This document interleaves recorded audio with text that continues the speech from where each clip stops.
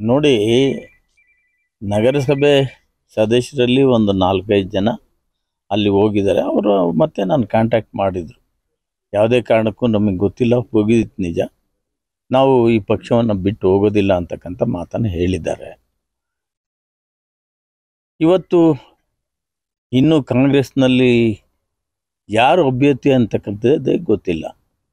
ಆದರೂ ಕೂಡ ತರಾತುರಿಯಲ್ಲಿ ಅವ್ರು ಮಾಡಿರ್ತಕ್ಕಂಥದ್ದು ಯಾಕೆ ಏನು ಅಂತ ನಮಗೂ ಕೂಡ ಗೊತ್ತಿಲ್ಲ. ಅವ್ರ ಪಕ್ಷದ ಕಾರ್ಯಕ್ರಮ ಅವ್ರು ಮಾಡ್ಕೊಂಡಿದ್ದಾರೆ. ಅವ್ರು ಏನೇ ಮಾಡಿಕೊಂಡ್ರು ಕೂಡ ನಮ್ಮ ಪಕ್ಷದಿಂದ ಯಾರೂ ಕೂಡ ಮುಖಂಡರುಗಳಾಗಲಿ ನಮ್ಮ ಕಾರ್ಯಕರ್ತ ಬಂಧುಗಳಾಗಲಿ ಯಾರು ಕೂಡ ಹೋಗಿಲ್ಲ. ನಗರಸಭೆ ಸ್ವತಃ ಅಧ್ಯಕ್ಷರು ಮತ್ತೆ ಸಾಕಷ್ಟು ಮಂದಿ ಒಂದು ನಾಲ್ಕೈದು ಜನ ಕೌನ್ಸಿಲರ್ಗಳು ಯಾವ್ದು ನಾನು. ಹೋಗಿದ್ರೆ ಅವ್ರನ್ನೇನು ತಮ್ಮನ್ನ ಸಂಪರ್ಕ ಮಾಡಿದ್ರ ನೋಡಿ. ಅವ್ರ ಸಂಪರ್ಕ ಮಾಡಿದ್ರ ಅಂತ? ಇಲ್ಲಿ ಏನಾಗುತ್ತೆ ಅಂತಂದರೆ ಭೀಮೇಲ್ ಕೃಷ್ಣಣ್ಣನವರ ನಾವೆಲ್ಲರೂ ಕೂಡ ಅವರ ಶಿಷ್ಯರು. ಹಾಗಾಗಿ ಕಾಂತಣ್ಣನವರು ಹೋಗಿರೋದಕ್ಕೋಸ್ಕರ ಅವರು ಆತ್ಮ ಆತ್ಮೀಯ ಸ್ನೇಹಿತರು ನಮ್ಮ ಹೇಮಂತ್ ಕುಮಾರ್ ಅವರು ಪಿಳ್ಳಪ್ಪ ಅವರು ಅವರೆಲ್ಲ ಈ ಒಂದು ಕಾರಣಕ್ಕೆ ಹೋಗಿರ್ಬೋದು ಅಷ್ಟೇ. ಅವರು ಪಕ್ಷವನ್ನೇ ಬಿಟ್ಟು ಹೋಗಿದ್ದಾರೆ ಅಂತ ಹೇಳ್ಬಿಟ್ಟು ನಾವು ಹೇಳೋದಕ್ಕಾಗಲ್ಲ. ಶ್ರೀನಿವಾಸ ಮೂರ್ತಿ ಅವ್ರನ್ನ ಹೇಳ್ತಾರೆ ಅಲ್ಲ ಅದು ಮತದಾರ ಬಂಧುಗಳಲ್ಲಿ ಇರ್ತದೆ ಅದು. ಮತದಾರ ಬಂಧುಗಳು ಮನಸ್ಸು ಮಾಡಿದ್ರೆ ಮಾತ್ರ ಸೋಲಿಸ್ಬೋದು. ಇವ್ರು ಹೇಳಿದ್ರೆ ಅದು ಆಗೋದು ಆಗೋ ಕೆಲಸ ಅಲ್ಲ. ಪಾಪ ಫಸ್ಟು ನಾನು ಅವ್ರ ಬಗ್ಗೆ ನಮ್ಮ ಪ್ರತಿಕ್ರಿಯಿಸಲ್ಲ. ಯಾಕೆಂತಂತಂದರೆ ನಮ್ಮ ಬಿ ಎಂ ಎಲ್ ಅಣ್ಣನವರ ಆಶೀರ್ವಾದ ಯಾವಾಗಲೂ ನನ್ನ ಮೇಲೆ ಇದೆ ಅಂತ ಹೇಳ್ಬಿಟ್ಟು ನನಗೆ ಗೊತ್ತಿದೆ. ಸರ್ ಕಾಂತರಾಜ್ ಅವರು ಇವತ್ತು ಹೇಳ್ತಾ ಇದ್ದಾರೆ ಎರಡು ಬಾರಿ ಕೂಡ ನಮ್ಮ ತಂಡ ಶಾಸಕರ ಏನು ಒಂದು ಅಭಿವೃದ್ಧಿ ಏನು ಗೆಲುವಿಗಾಗಿ ಶ್ರಮಿಸಿದ್ದು ಆದರೆ ಆದ್ರೆ ಈ ಬಾರಿ ಅವರು ಶಾಸಕರ ಸಾಕಷ್ಟು ವಿಚಾರದಿಂದಾಗಿ ನಾವೆಲ್ಲ ಮನನೊಂದು ಕಾಂಗ್ರೆಸ್ ಸೇರ್ಪಡೆ ಆಗಿದ್ದೀವಿ. ಈ ಬಾರಿ ಸೋಸೆ ಸೋಸ್ತೀವಿ ಅಂತ ಹೇಳಿದ್ದಾರೆ. ಅಲ್ಲ, ಯಾವುದೇ ರೀತಿಯಲ್ಲೂ ಕೂಡ ಯಾರಿಗೂ ನಾನು ಮನಸ್ಸನ್ನು ಬೇಜಾರು ಮಾಡೋದಾಗಲಿ ಒಬ್ಬರ ಬಗ್ಗೆ ಟೀಕೆ ಮಾಡೋದಾಗಲಿ ನಾನು ಇಂಥವ್ರಿಗೂ ಕೂಡ ಮಾಡಿಲ್ಲ. ಅದು ಯಾಕೆ ಆ ರೀತಿ ಅಂದ್ಕೊಂಡ್ರು ಅವ್ರು ನನಗೆ ಗೊತ್ತಿಲ್ಲ. ಸೋಲು ಗೆಲುವು ಅಂತಕ್ಕಂಥದ್ದು ಪ್ರತಿಯೊಬ್ಬ ಮನುಷ್ಯನಿಗೆ ಇದ್ದಿತ್ತೆ. ನಾನೇ ಇಲ್ಲಿ ಗೂಟ ಹೊಡ್ಕೊಂಡು ಕೂತ್ಕೊಂತೀನಿ ಅಂತ ಹೇಳೋದಕ್ಕಾಗತ್ತಾ ಯಾರಾದರೂ? ಪ್ರತಿಯೊಬ್ಬ ಮನುಷ್ಯನಿಗೂ ಸೋಲು ಗೆಲುವು ಅಂತ ಇದ್ದೇ ಇರ್ತದೆ. ಅದನ್ನು ತೀರ್ಮಾನ ಮಾಡ್ತಕ್ಕಂಥದ್ದು ನಮ್ಮ ಮತದಾರ ದೇವರುಗಳು. ಅದನ್ನು ಮಾಡಿ ತೋರಿಸ್ತಾರೆ ಎರಡು ಸಾವಿರದ ಇಪ್ಪತ್ತ್ಮೂರನೇ ಎಲೆಕ್ಷನ್ನಲ್ಲಿ ಮತದಾರ ಬಂಧುಗಳು, ನಮ್ಮ ಪಕ್ಷ ಯಾವ ರೀತಿ ಇದೆ, ನಮ್ಮ ಪಕ್ಷದಲ್ಲಿ ಯಾವ ರೀತಿ ಕೆಲಸ ಮಾಡಿದ್ದೀನಿ, ಕೆಲಸ ಮಾಡಿಲ್ವಾ? ಅಥವಾ ಕೆಲಸ ಯಾವ ರೀತಿ, ಯಾವ ವೈಖರಿಯಲ್ಲಿ ಮಾಡಿದ್ವಿ, ಅವರು ಕೆಲಸ ಮಾಡಿದ್ದಾರೆ, ಅದಕ್ಕೋಸ್ಕರ ನಾವು ಯಾವ ರೀತಿ ಅವರನ್ನು ನೋಡ್ಕೋಬೇಕು ಅಂತಕ್ಕಂಥದ್ದು ಮತದಾರ ಬಂಧುಗಳಲ್ಲಿ ನಿರ್ಧಾರ ಮಾಡ್ತಕ್ಕಂಥದ್ದು.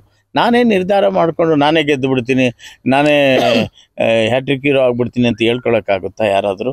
ಸಾಧ್ಯನೇ ಇಲ್ಲ. ಹಾಗಾಗಿ ನಾನು ಮತದಾರ ಪ್ರಭುಗಳಲ್ಲಿ ಬಿಟ್ಟಿದ್ದೀನಿ.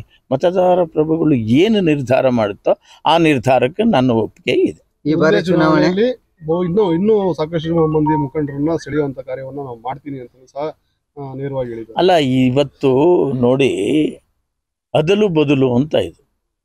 ಅಲ್ಲಿಗೆ ನಮ್ಮ ಪಕ್ಷದವ್ರು ಯಾರಾದರೂ ಹೋದ್ರೆ ಆ ಪಕ್ಷದವ್ರು ನಮ್ಮ ಹತ್ರ ಬರಲ್ವಾ? ಅದನ್ನ ನಾನು ಯಾಕೆ ಟೀಕೆ ಮಾಡಬೇಕು ಇವಾಗ್ಲೇನೆ? ಮೊದಲು ಅಭ್ಯರ್ಥಿನ ಫಸ್ಟ್ ಯಾರು ಅಂತ ನೀವು ಫಸ್ಟ್ ಗುರ್ತಿಸ್ಕೊಳ್ಳಿ. ಅಭ್ಯರ್ಥಿನ ಗುರ್ತಿಸ್ಕೊಂಡು ನಂತರ ನೀವು ಮಾತಾಡೋದನ್ನ ಕಲಿಯೋದು ಒಳ್ಳೇದು ಅಂತ ನನ್ನ ಈ ಬಾರಿ ಚುನಾವಣೆ ನನ್ನ ಕಾಂತರಾಜು ಮತ್ತೆ ಶ್ರೀನಿವಾಸ ಮೂರ್ತಿ ಅವರ ವಿರುದ್ಧನ ಅಂತ. ಯಾವುದೇ ಕಾರಣಕ್ಕೂ ಆ ರೀತಿ ಅನ್ಕೊಂಬೇಡಿ. ಯಾಕೆಂತಂದ್ರೆ ನಮ್ಮ ಒಂದು ರಾಜಕೀಯ ಭವಿಷ್ಯ ಅಲ್ಲಿಂದ ಪ್ರಾರಂಭವಾಗಿರ್ತಕ್ಕಂಥದ್ದು. ನಾನು ಅದಕ್ಕೆ ನಾನು ಟೀಕೆ ಮಾಡಲ್ಲ. ಯಾಕಂದರೆ ಅವ್ರ ತಂದೆಯವರಿಗೆ ನಾವು ಭಾಳ ನಿಷ್ಠಾವಂತರಾಗಿ ನಾವು ದುಡ್ದಿದ್ದೇವೆ. ಅವ್ರ ತಂದೆಯವರ ಆಶೀರ್ವಾದ ಮತ್ತೊಮ್ಮೆ ಹೇಳ್ತೀನಿ. ನಮ್ಮ ಮೇಲಿದೆ. ನೋಡೋಣ ಏನಾಗುತ್ತೆ ಅನ್ನೋದೊಂದು ಮತ್ತೊಮ್ಮೆ ಇಂದ ಹೋಗಿರೋ ಎಲ್ಲಾ ನಗರಸಭಾ ಸದಸ್ಯರು ವಾಪಸ್ ಜೆ ಡಿ ಎಸ್ಗೆ ಬರ್ತಾರ ಸರ್? ಅವ್ರ ಜೊತೆ ಮಾತುಕತೆ ನಡೆಸಿದ್ದೀರಾ?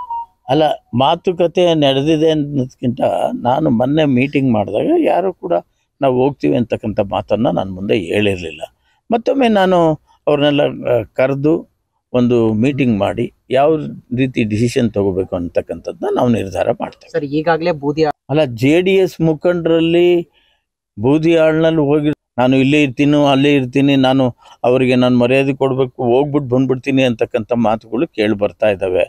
ದಯವಿಟ್ಟು ಅದ್ರ ಬಗ್ಗೆ ನಾನು ಯಾವುದೇ ಕಾರಣಕ್ಕೂ ಕೂಡ ನಾನು ಮಾತಾಡಲ್ಲ ಒಬ್ಬರ ಬಗ್ಗೆ ಮಾತಾಡಲ್ಲ.